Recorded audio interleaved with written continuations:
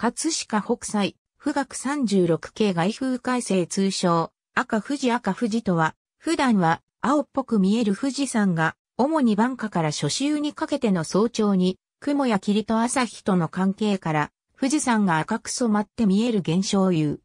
画題としての赤富士は、江戸時代後期から取り上げられており、明和8年には、文人画家の鈴木不要が赤富士に昇竜竜像を描いている。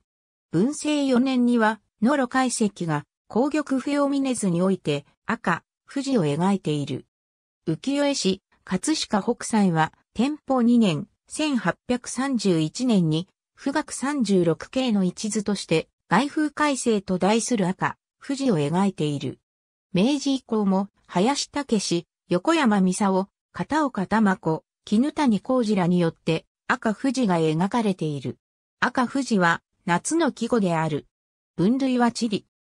第二次世界大戦中の1945年、アメリカ軍 OSS は、ある科学者の提案で、日本人の士気を削ぐために、富士山をペンキで赤く染める作戦を計画。しかし、富士山が想定より大きく、表面積からして、ペンキが約12万トン、B29 が約3万機、マリアナ諸島から日本までのガソリン代に1機、約200万円、総額約600億円がかかるとの計算されたことで、非現実的だとして頓挫した。